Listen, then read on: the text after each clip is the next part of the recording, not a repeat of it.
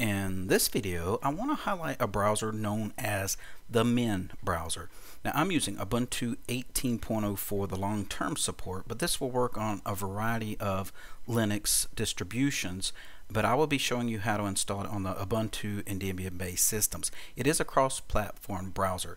Now since I have a traditional menu, you can go to applications, go to internet after you get it installed and click on the Min icon and as you can see it says Min is a fast minimum browser that protects your privacy. Now I've already got it up down here minimized on my taskbar. As you can see I have four tabs open and before I start reading a little bit about it you look, you can look across the top it is very minimum. The title bar is gone because that's my taskbar across the top.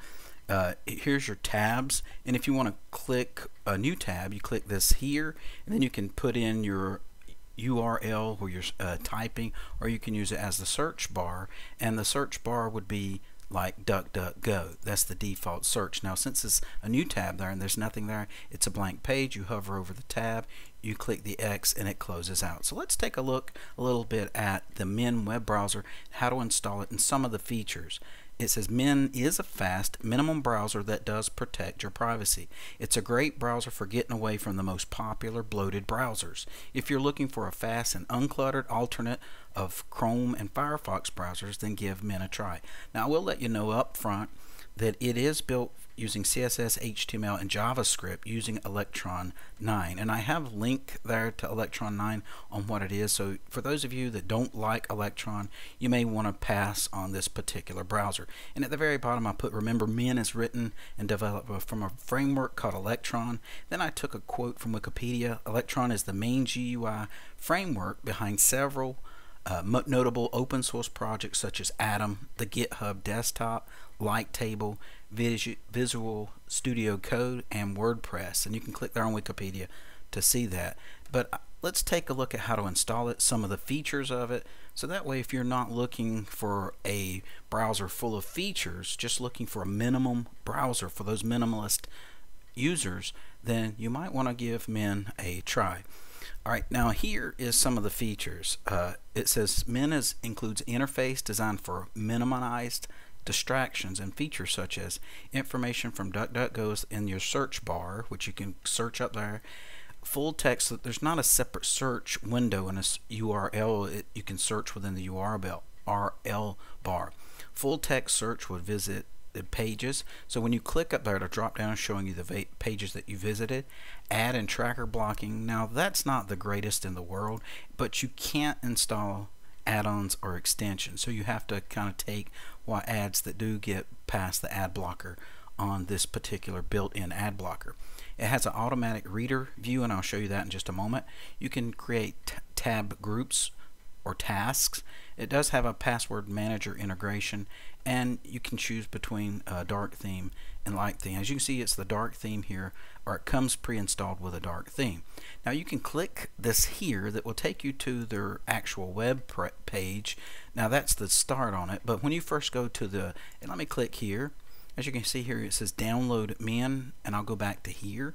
When you click that button you got two choices you, for Debian based or Ubuntu based systems, you can click the download the Deb extension, and that's what I will be using since I'm using Ubuntu Mate. Or if you're on like Fedora or any of the distributions that use the extension RPM, you can download this. Now you can download it for other platforms as well, but I'm just showing you how to install it on Ubuntu and Debian based systems. Now currently at the time I'm making this video, it's the Min 1.6.0 and that's the file that I downloaded into my download folder. Now the package installer that I'm using is GDebi. If you need that, if you don't have it installed, you can open your terminal, put sudo apt install GDebi and it will install the package installer. Then go to your downloads folder where you downloaded that file, double click it, the package installer will open. Now if it needs some dependencies, when you click the install package, it will get the dependencies first and then it will install the program. On my systems, all the dependencies were satisfied. And here you can get a little description of what the Min browser is. Once that you click the install button, it will ask for your password so that it can install on your system.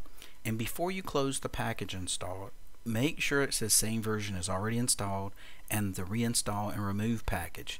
Now you don't have to keep this deb file on your system You know, when I first started using Linux, I, I used to think when I installed them here, since that was the reinstall or remove package, I had to keep it in case I needed to reinstall it or if I needed to remove it, but you don't need to. You can delete that file.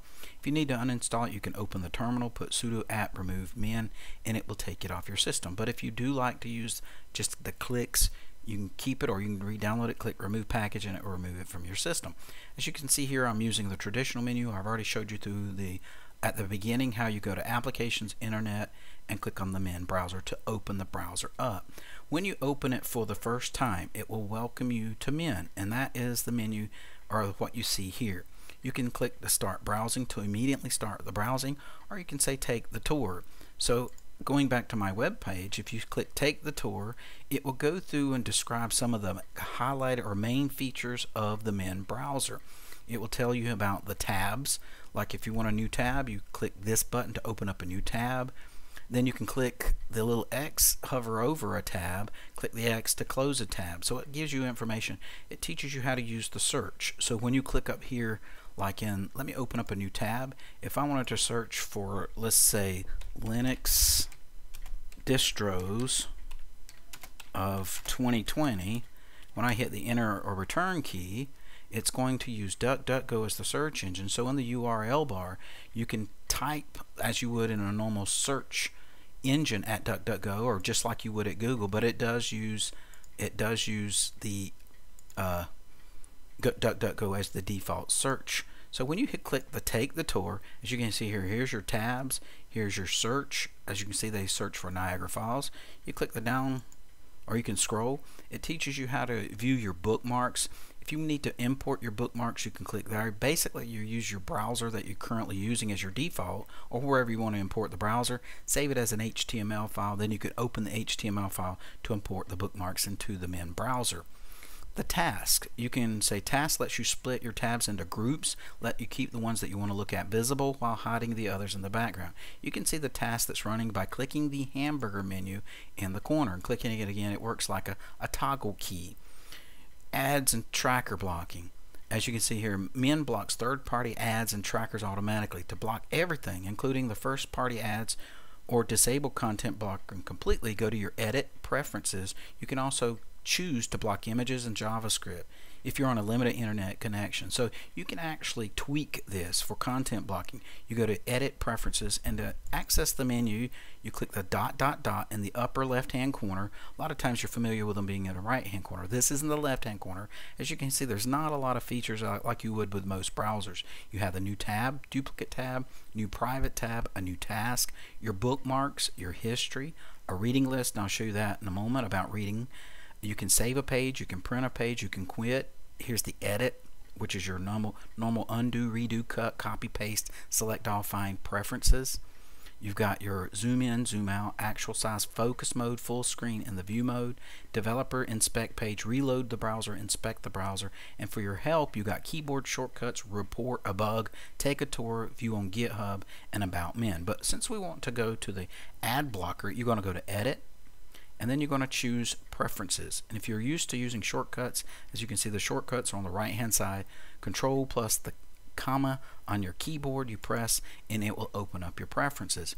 Here you've got a, not a lot of preferences. You got your keyboard shortcuts if you want to set up a, a proxy your passwords autofill it's set to none. If you want to use the password manager to fill in passwords you can choose that. You can change your default search engine. So if you don't like DuckDuckGo you can change it to a variety of other search engines. But DuckDuckGo is the default search engines the search engine Here's some additional features. You can enable user scripts. You can use a separate title bar. You can use new tabs in the foreground. You can use the uh, custom set user agent or you can automatically check for updates. So since it's set to automatically check for updates, when you run the Min browser, it will look across the internet and let you know if there's a new version available to you. Here's where I said it has a dark mode. You can enable dark mode. You can say at night, never, always, enable a site theme and that is the default. At night and enable site theme but I am using and that's why this is not dark here. So if I can say always it changed everything to a dark mode. If I say never it's going to look like this all the time. And then at night time it will know based on your time that at nighttime this will go dark. So that way it won't hurt your eyes when, right before you go to bed keeping you awake for content blocking. As you can see I've not been using it a lot but it has already blocked 336 ads and trackers. And by default it's got third block, block third party ads and trackers. You can also add websites that you want to block ads. So if you do notice ads on a certain website you can uh, you can put it here and this will be for allowing websites. You can also block all ads and trackers. Sometimes that may keep a page from loading. You can block scripts you can block images or you can allow all ads and trackers. So that is the uh, in the edit preferences and content blocking.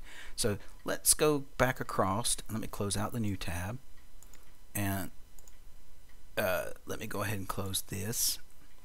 Here's my download page that gives you additional information. It talks about browse without, browse without distractions, find anything instantly, stay organized, protect your privacy, fast and efficient, open source software, and download the Min. As you can see here, if you're using a Linux system, it will give you those two options. So let me go ahead and close this one. Let me close this tab. Now I'm back to my original web page that shows you the tour. Now, as you can see, I'm on my web page, but it's very snappy when you go to a particular web page because it's a minimalist browser. There's not a lot of things and there's not a lot of add-ons to slow your search down. It does play YouTube videos without problems. Now, the ad blocker that I have, you can see certain little ads over the side. It blocks them out, but you can still see a description of it. And sometimes there will be a little ad that plays before the YouTube video. Since you can't install add-ons or third-party extensions, uh, you're not going to be able to block out those. It lets those play. It does play streaming videos from like Pluto, Pluto TV. I haven't tried other streaming services. Now here's the mode I like. For example, how to turn on your reader mode. Even though this is a minimalist browser, you can remove distractions from the browser by going into the reader mode. Now, as you can see here, I'm on the GitHub website, their GitHub website. It has more information. But you can go into reader mode by clicking the icon here and it will remove distra distractions. Now, not all websites support the reader mode. It will, if you got an icon here, it will support it. So let me click down here and I'll show you on one more time how to, if I click this link, notice that icon here. If I want to go on reader mode, notice all these things that are on the side here. If I click this little icon here, it now toggles the browser into reader mode. So everything on the sides is now removed and it removes all the distractions where you can focus on the text in the center. So that helps you stay focused, especially if you're a student and you're learning educational websites and there's ads or other information on the side that's irrelevant to what you're reading. If you go into reader mode, if the, the web page supports it, you can just read what's at hand and stay focused. Now, as you can see here, this particular uh, link that I clicked on actually gives you more information about the browser. So if you click on the links that I have, you can learn more about it. You can learn some of the actions that it has and what they do. You can learn more about the bookmarks, importing bookmarks, and it shows you illustrated steps. So I didn't take a lot of screen captures from other browsers because I didn't really care to uh, import my bookmarks from other browsers. It shows you how you can use your task, your password management, your focus modes, and actually other settings. And it talks more about the content blocking and your dark mode along with some keyboard shortcuts. Now to turn off the read mode, click the icon again and it goes back into the normal mode.